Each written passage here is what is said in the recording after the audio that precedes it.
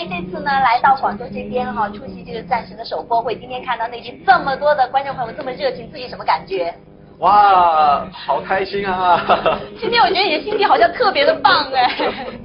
那这一次呢，播到这边来之后呢，我刚刚呢就是完了之后，我也有啊，就是哎问一些你的 fans，你的 fans 都说，哎呀，他都一点不喜欢人家叫他叫仔仔叔叔，永远都最好叫他叫仔仔，还为什么？然后刚刚呢雅妍在台上也说，你要成熟一点了，别那么幼稚了。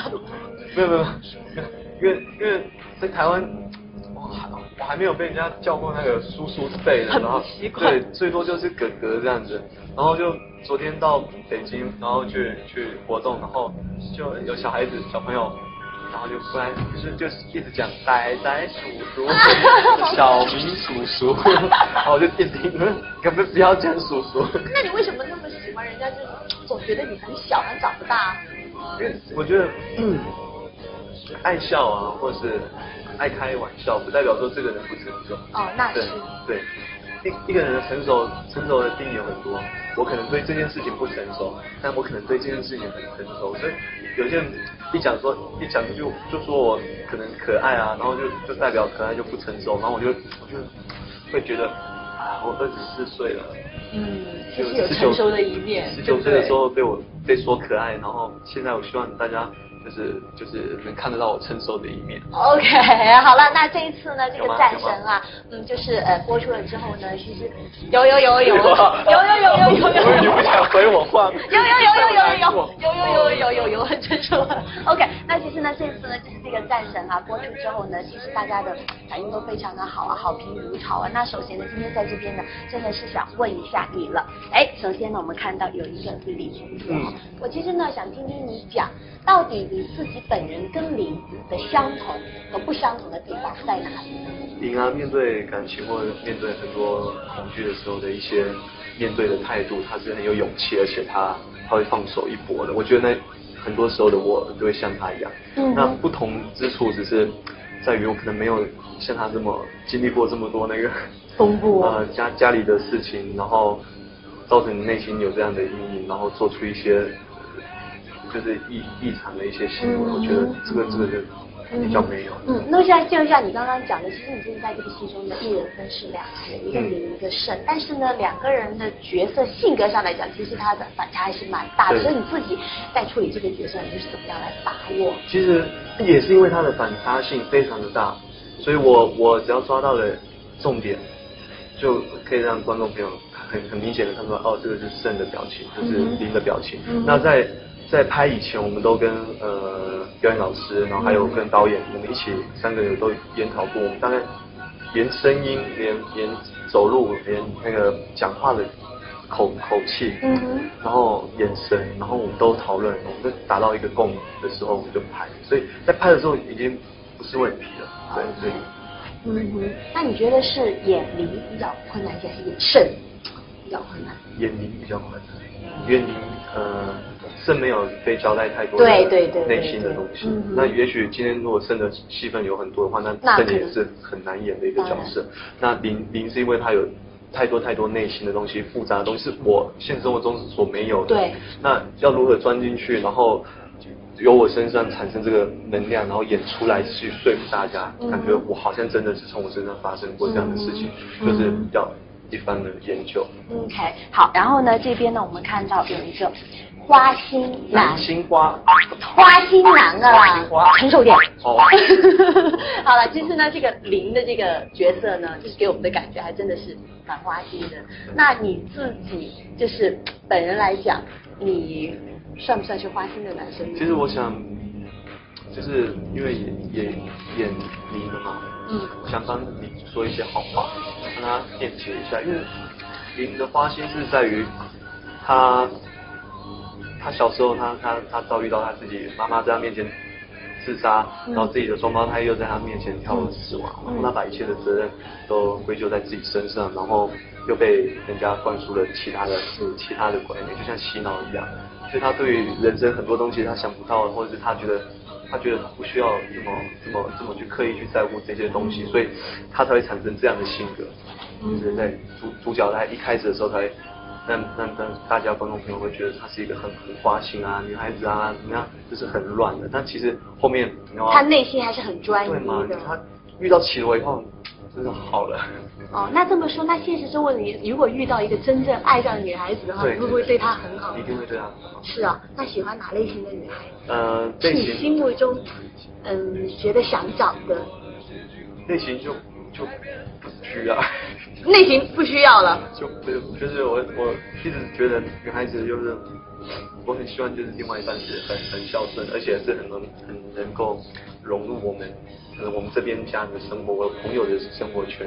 我觉得这是最重要，就是如果我们的生活圈都是都有共同点的话，那那将来会比较好，再继续下去。嗯，那怎么样？就是看自己的这个感情观呢？感情观呐，就是 Vivian 的新歌狠狠爱，狠狠爱。遇见徐若瑄啊，我知道，我知道，我知道，你跟他很好朋友，还不错啊，非常好。哇，真的是好朋友，顺便还可以帮他打。拍过那个嗯，妨碍对对对，妨碍龙卷也蛮好看的。你真是好，你人缘一定很好，在这个圈子里面，是不是？好，然后呢，我们看到这个哈飙车，哎，在未拍呃战神之前，仔仔不知道你的车技如何呢？你所谓的车技应该是所谓重型机车吧？呃，重型对，嗯，就是零，跟陈林一样是零 零分。不会的是。完全不会，因为我我在台湾要要考重型机车，我比较。可是台湾应该很多人都会开打档的吗？我们是。我会骑无段变速的，啊，但是挂档的那种那种我还没有还没有碰过，那就因为这部戏我才去尝试，呃，就知道要学这样的东西。其实你有特别去拜师去学？对对对，有有有有去报考那种那种驾训班，那拜师是拜那个特技，特技，因为那个那个那个那个名字是谁？坤坤哥，坤哥，坤哥，对他是一个非常有名的非常有名的一个特技人，他当过。呃呃，小黑哥嘛，嗯然后成龙啊那些，就算就像我们呃《流星花园二》有一场道明寺翻车的镜头，那些东西也都是他们很很多都是他们那个听剧完成的，就就稍微也不算拜师，就是教他教我一些方式。OK，所以说拍这部戏，你有是不是有真的尝试就是在赛车道上？有有，我真的有在赛车赛车道上开过，骑过摩托车，感觉但是就是骑他们那种五十 cc，就是他们旁边有那种小小的小小的那种小机车，对，因为因为他们怕我一骑上去就忘我了，因为那个速度感是你没有办法体验出来，全全身赛车服，然后安全带戴下去，你不知道速度有多快，除非你看到那个那个。指针的速度，你才知道哦，原来已经开到一百多了，骑到一百多了，骑到两百多了。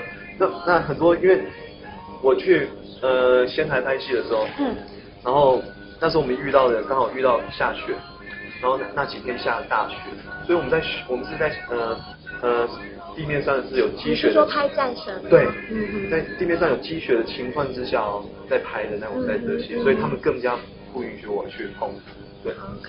好，那这边呢还有哈，看看什么有什么哦。这边呢有一个重点，观众的问题。其实呢，我刚才也跟你讲了，真的蛮多，很多很多观众，每天我们都收到很多他们的来信，所以在这边呢，我也想抽一点点时间呢，来帮他们问一些问题哈。首先呢，你要一一的回答啊。他说呢，哎，想问问仔仔为什么这么爱笑啊？不开心的时候怎么样来调节自己呢？嗯，其实其实笑容哈，有时候是一种。缓和气氛的一种一种方式，那我会希望呃现场大家的气氛都会都会是很开心的，就是因为这样我我我我压力会比较小。嗯那我平常不开心的时候，就是我建议嗯很多朋友们啊有心事就不要藏在心里面，我觉得你要你要放出来说出来，找一个知心的一个朋友去去去听你的一些心里话，我觉得这对你自己有帮助。比方累积久了以后可能会。产生一些心理方面的一些疾病，我觉得不太好。嗯，还好。然后呢，再来这边呢，他有说，哎，仔仔如果不当艺人，最想做的事情是什么？嗯，就是，就是就是去就就买下一块地，然后就是它都是像牧场这样子。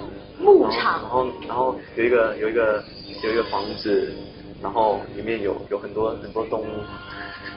然后有草，我偶尔享受生活，对我就什么都不做，我就喜欢那种居家的，然后非常呃田野式的那种生活，我不喜欢。可是不能不赚钱呢。对对对，就是赚赚赚赚了钱以后的我，哦，赚了钱以后那样的生活。OK。生活对我来讲还是比较。有压抑压迫感。对，OK，然后最后呢，问说，哎，现在好莱坞都蛮流行拍动作片的，时候，大家有没有兴趣呢？我拍动作片能看吗？哎，为什么？哎，其实能看的，因为当然了，战神动作动作戏也蛮多的，对啊。其实很多很多很多很多那时候在拍战神的时候，其实有他们有一部分的人在担心我拍打戏会不会打，然后也有找那种武术老师在在指导我们。结果怎么样？没想到我表现的就是。就是超乎他们预料之外，因为其实我在我在我小时候，我说真的，现实生活小时候，我我小呃四年级就已经拿到跆拳道的黑带了嘛，真的，然后我小的五六年级都是。学校的体育班啊，就要去代表学校去参加县比赛啊，省省省省省真不像我，对，看不出来，看不出来，对。那其实我真的是会跑又会飞。真的，OK，好好在这边呢，真的非常谢谢的仔仔，那希望你呢，嗯，在未来的日子里面事业可以啊更上一层楼，一帆风顺，就像你自己说的哈，身体当然也是最重要的，要身体健康。好，谢谢仔仔，谢谢，谢谢。仔仔可爱吧，亲切吧，一点明星架子都没有，只是希望呢，下次再见到仔仔的时候，他可以再长胖一点了。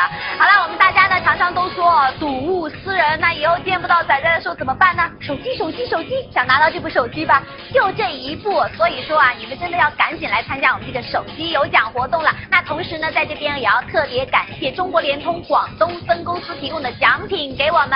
那与此同时呢，我要跟大家来公布一下，就是昨天呢我们首奖的。